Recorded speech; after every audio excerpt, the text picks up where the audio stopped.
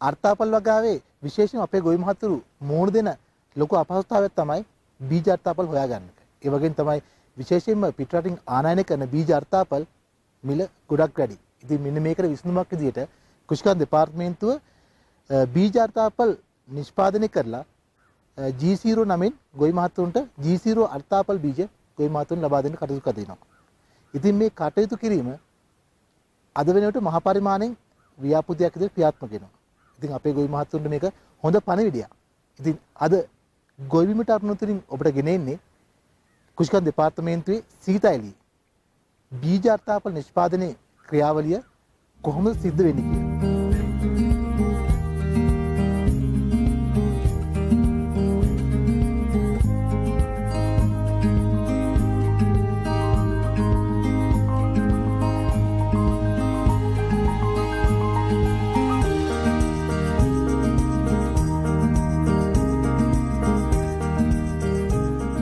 පෙරමූලික බීජාර්ථාපන නිෂ්පාදන ක්‍රියාවලියේ ඉතාමත්ම වැදගත් අංගයක් තමයි පටකරෝපිත මෞෂාක. පටකරෝපිත මෞෂාක අපි මෙම වීදුරු භාජනයෙන් ඉවතර ගත්තට පස්සේ අපි මේ ආකාරයට එහි තිබෙන මීඩියා එක ඊගා මාධ්‍ය අපි හොදලා අයින් කරනවා. අයින් කරාට පස්සේ ඒක අපි නැවත වැලි සහ කොහුබත් කියන මාධ්‍යයේ රෝපණය කරනවා. ඊට පස්සේ ඒ රෝපණය කරපු මෞෂාක දවස් 14ක් විතර අපි නිශ්චිතව උෂ්ණත්වයක් සහ ආර්තාවක් යටතේ පවත්වාගෙන යනවා. එහි මුල් අද්දව ගැනීම පහසු කර ගැනීම සඳහා. ඉන්පසු අපි එම මෞෂාක වලින් අග්‍රස්ත අංකුරේ සහ පත්‍ර දෙකක් සහිත කොටසක් කපලා වෙන් කරගෙන එය තමයි අපේ ගුණන කිරීමේ කාර්යාවලිය සඳහා යොදාගන්නේ.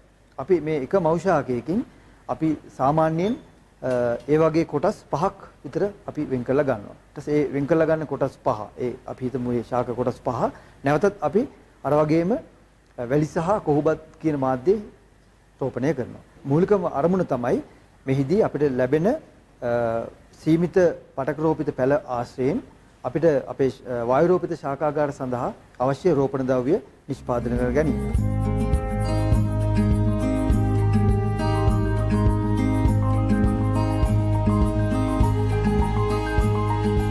සාමාන්‍යයෙන් අපි මූලික වශයෙන් පසක හෝ වෙනත් මාධ්‍යයක අර්ථාපල් වගා කළොත් අපිට සාමාන්‍යයෙන් එක ශාකයකින් ලැබෙන ගෙඩි ප්‍රමාණය සීමා සහිතයි.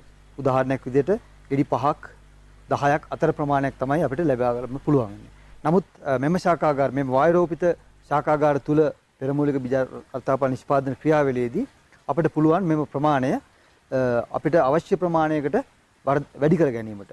මේ ආකාරයෙන් මෙම බීජයක මිලිමීටර් 28 වගේ ප්‍රමාණයකට අපි මේ බීජ විශාල කරගත්තොත් එහෙම මෙම එක ශාකයකින් අපිට බීජ 40ක පමණ ප්‍රමාණයක් කඩා ගන්න පුළුවන්. එය තීරණය වෙනවා මෙම බීජයක ප්‍රමාණය අනුව.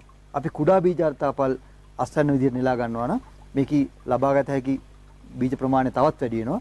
නමුත් අපි මෙම බීජ ගොවිපළවල වල ඒ වගේම අපේ ගොවි මාතුරුන්ට ලබා දෙනවා. ඔවුන්ට ඔවුන්ට ශේෂ්ත්‍රය තුල මෙම බීජ වගාව ඉතාමත් හොඳින් කර ගැනීම සඳහා අපි රුකුලක් විදිහට මෙම බීජ ප්‍රමාණය සුළු වශයෙන් විශාල කරලා. ඒ කියන්නේ මිලිමීටර් 15 28 වගේ ප්‍රමාණයකට තමයි අපි අස්වැන්න විදිහට නෙලාගන්නේ.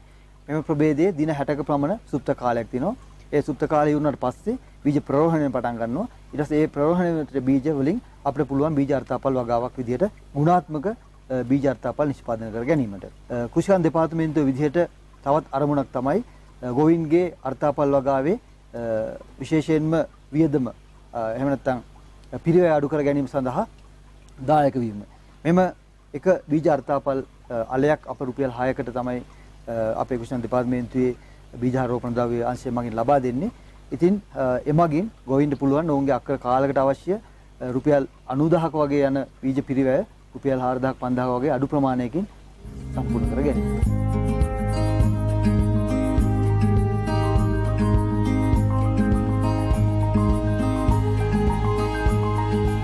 මූලික බීජ අර්ථාපල් නිෂ්පාදන ක්‍රියාවලියේ G1 නිෂ්පාදනය කරන ශාකාගාරයක් තමයි අපි මේ පැමිණ සිටින්නේ. ඒතර මේ ශාකාගාරය තුල සිද්ධ වෙන බීජ අර්ථාපල් නිෂ්පාදන වගාවත් නිර්පාංශු තත්ත්වයට තමයි අපි සිද්ධ කරන්නේ.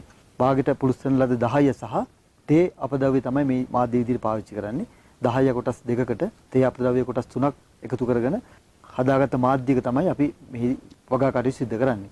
මේ සඳහා රෝපණ ද්‍රව්‍ය විදිහට අපි පාවිච්චි කරනවා වායුරෝපිත ශාකාගාර වලින් අපි නිෂ්පාදනය කරන ලද G0 බීජ අර්ථාපල් තමයි මෙහි අපි පාවිච්චි කරන්නේ රෝපණ ද්‍රව්‍ය විදියට. වගා මල්ලක තමයි මේ වගා කටයුතු අපි සිදු කරන්නේ. සියලුම දේවල් වෙන වෙනම අපිට ඉවත් කරන්න පුළුවන් වගා මලු මේ ආකාරයේ වගා මල්ලක තමයි සිදු කරන්නේ. මෙහි අඩියක් පමණ පළල අඩියක් පමණ උස බෑගයක් තමයි මේ සඳහා අපි භාවිත කරන්නේ. එහි අරමුණු කීපයක් තියෙනවා. අපි මෙහිදී නිෂ්පාදනය කරන අර්ථාපල් වල ප්‍රමාණය මිලිමීටර් 28 35 වගේ ප්‍රමාණයකට තමයි අපි නිෂ්පාදනය කරන්නේ. එහිදී ගොවින්ට ලොකු වාසියක් වෙනවා. මෙහි 1 කිලෝග්‍රෑම් 50ක අසුරණයක තිබෙන බීජ ප්‍රමාණය වැඩි වෙනවා සාමාන්‍ය අර්ථාපල් වලට වැඩිය. මෙහි වගාව අපි පවත්වාගෙන ගිහිල්ලා අපිට අවශ්‍ය කාලයට ආවට පස්සේ මෙහි වගාවේ උඩ කොටස අපි අයින් කරනවා මාස 3ක් ගියාට පස්සේ. ඉන්පසුව මෙහි සාමාන්‍ය තත්ත්වය යටතේ තිබලා අපි අසුන් නිලීමේ කටයුතු සිදු කරනවා.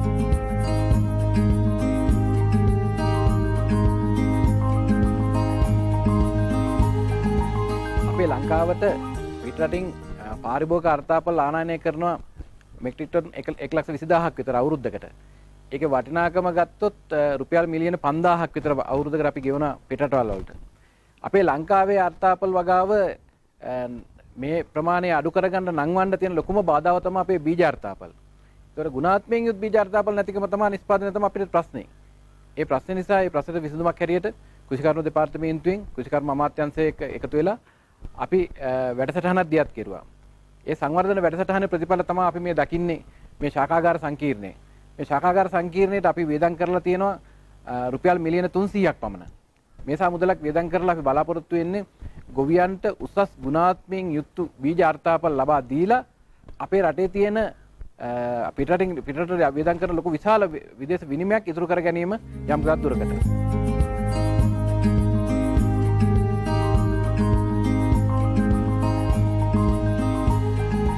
සීරෝ බීජ නිස්පාදනය කරගෙන යන්නේ. ඒ වෙනකුට දැම් මට සෑහන්ට වාසි අත්වෙලා තියෙනවා ජීසීරෝ අර්ථාපල්ලක ම මුලිම පටන් ගන්නේ අලගෙඩි දහකින් වගේ. දහමන් සාමානයෙන් අලගෙඩි පන්දහක් විතර කරගන්නවා මාස තුනකින්. ඊළඟට ඒම වැඩි දියුණු කරගෙන ගිහිල්ලා සාමානයෙන් අක්කර කාලකට හරියන්ට බීජමං නිස්පාදනය කරගන්නවා. ඊළඟට එය ඒ බීජ තවත් දිගට ගෙනිහිල්ල ගෙනිල්ලවල තුන්ගනි පරම්පරාවගේ වෙනකට මං අක්කරයකට අවශ්‍ය බීජ ප්‍රමාණය මන් නිස්පාදනය කරගන්නවා. ඊළඟට එහෙන් දිගට ගියාම ඊළඟට මං කරද ඊළඟට ගොවින්ට මේ බීජ දෙනවා. ඒකන මේ ගුණාත්මකත්තේ වැඩි මේක පිටටින් ගෙන අර්තාපල් බීජවලට වැඩි මේක අස්වන්න වැඩි. ඒ වගේ තමයි මේකට යන වියදම ගොඩක් මාඩුයි දැන් පිටටින් ගෙන ඉම්පෝට් අල අල හොන්ඩරේක මිල රුපිය දහට දහක් විතරන ඒ හොන්ඩරේක තියෙන අල ප්‍රමාණය විල්ලා සාමානයෙන් අලගෙඩි හත්සියක් වගේ. දැන් මන් නිස්පාදනය කරන මේ ජීසේරෝ අල හොන්ඩරයක් ගත්තම මේක අලගෙඩි එක්දස් පන්සියක් එක්දා සත්සියක් වගේ තියෙනවා. එතකොට වැඩි භූමි ප්‍රමාණයක සිටවන්න පුළුවන්.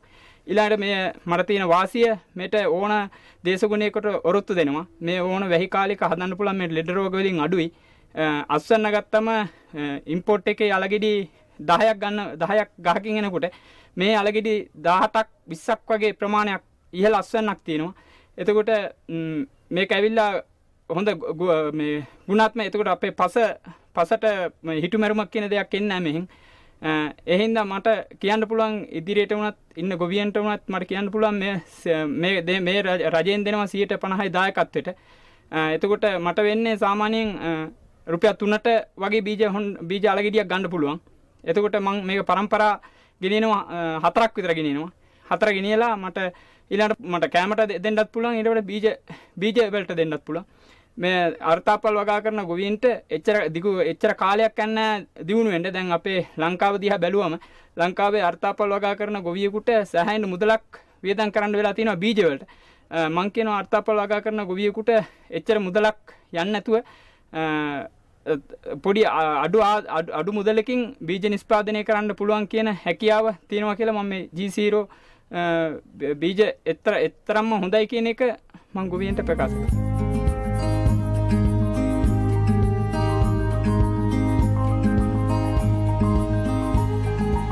අපි අවිල්ල දින්නේ නොරෙලිය බීජාරෝපනාන්සයෙන් නිස්පාදනය කරන ජීසීරෝ බීජර්තාපල් වගා කරන ගොවි මහත්තය ඉඩමට මේ මහතාට අපි මේ දෙපාර්තමෙන්තිය මේ අර්තාපල් දීලා තින්නේ සියයට පණහට ගැන ජීසිරෝ අලයක් රුපියල් හයක් වෙනවා අපේ ජීසිරෝ නූරෙල්ලි කලාපේ ආරක්ෂිත ගෘහ මිලි ලක්ෂ 30ක් නිෂ්පාදනය කරනවා වාර්ෂිකව. ඒ ලක්ෂ 30න් ලක්ෂ 12ක් විතර ඌව පළාතටයි මධ්‍යම පළාතටයි ලබා දෙනවා. අපේ අපේ ගොවිපල්වල හදන ජීසිරෝ වලින් G1 කියන අර්ථාපල් හොන්ඩර මෙට්‍රික් ටොන් 45ක් මෙහෙට දෙනවා. ඒ කියන්නේ ගොවි මහතුරුන්ට දෙනවා. ඒ 45 දෙන්නෙත් 150යි මුදලකට ඒ කියන්නේ 150 රුපියල් 16000ක් වෙනවා වටිනාකම අපි ගොවියෙකුට දෙන්නේ රුපියල් 8000කට.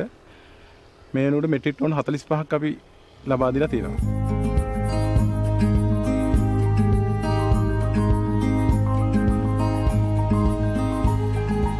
සීතෑලි බීජර්තාපල නිස්පාදනය කරන බීජා රෝපණ ද්‍රව්‍ය අංශය මගින් අපිට මේකට විශාල උදව්වක් ලැබෙනවා උපකාරයක් ලැබෙනවා මේ ගොවියුන්ගේ බීජ අර්ථාපල් වලට යන නිස්පාදන වියදම අඩු කරගන්න. බීජ ගුණනය කර ගැනීම වැඩසටහනක් තමයි මෙතන කරලා තියෙන්නේ ජී බිඳුවේ දෙවෙනි පරම්පරාවේ බීජ මෙතන හිටවලා තියෙනවා.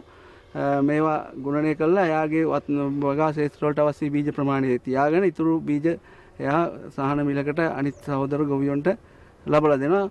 මෙතන විශේෂයෙන් ගුණාත්මක බීජ නිෂ්පාදනයක් තමයි සිද්ධ වෙන්නේ. ජී බිඳුවේ බීජ නැවත ගුණනය කරලා ගන්නකොට එක දෙක පරම්පරාවලදී ලැබෙන බීජවල අස්සන්න හොඳයි. ලෙඩ රෝග අඩුයි. ගෙතවට ගොවියට බීජ සඳහා සියයට හැටක් විතර දරන්න නිස්පාදන වියදම අපිට සියයට විස්සක් වගේ මිලකට ප්‍රමාණයක් අඩු කරගන්න පුළ මේ වැඩස්ථාන තුළින්.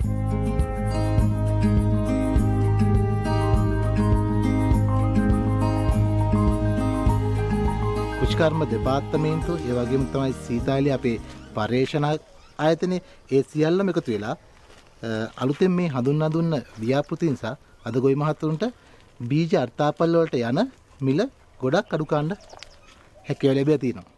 ඉතින් මේ පිළිබඳව මොනියම්ම ඔබට විමසීමක් කිරීමට අවශ්‍ය නම් ඔබට පුළුවන් නියෝජ්‍ය කෘෂිකර්ම අධ්‍යක්ෂක බීජ හා රෝපණ ද්‍රව්‍ය කාර්යාලය සීතායිලි කියන ලිපිනයට ලිවීමෙන් ලබා ගන්නත් පුළුවන්. ඒ වගේම තමයි ඔබේ ළඟම පිහිටි කෘෂිකර්ම ව්‍යාප්ති කාර්යාලයට බදා දවස ගියොත් එහි රැඳී සිටින කෘෂිකර්ම උපදේශ මහත්මයෙක් හරි මහත්මයක් හරි හමු වීමනොත් ඔබගේ කෘෂිකාර්මික තාක්ෂණික ගැටලුවට විසඳුම් ලබා ගන්න පුළුවන්. ඉතින් අදට ඔබ සමග රැඳී සිටින්න අපිට ලැබිච්ච කාලය කෙමෙන් ගෙවි යනවා. ඔබෙන් සමුගන්න අවසරයි. තවත් සද්දිනකින් මෙවැනිම තාක්ෂණික වැඩසටහනක් සමගින් හමුවීමට බලාපොරොත්තු ඇතුව ඔබෙන් සමගන්නවා ඔබට සුදායි සතියක්.